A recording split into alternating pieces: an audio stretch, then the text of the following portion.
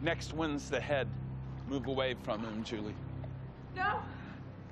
Julie, move now. Dad! You have to listen to me. I know we lost everybody.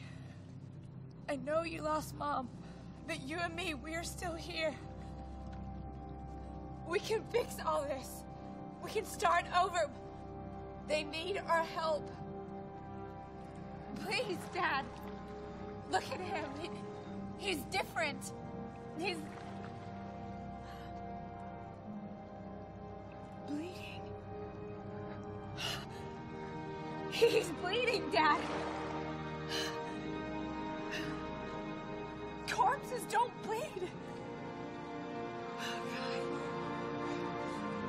Oh, he's alive. You're alive.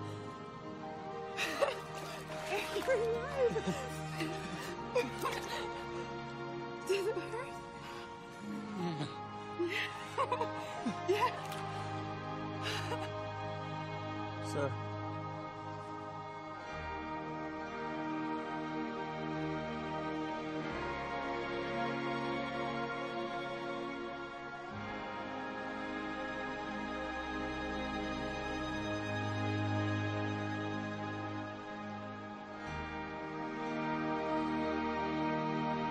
This is Colonel Grigio.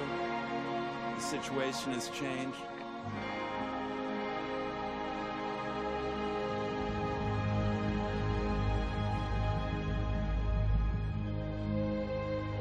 Okay, let's get you to the hell out of here.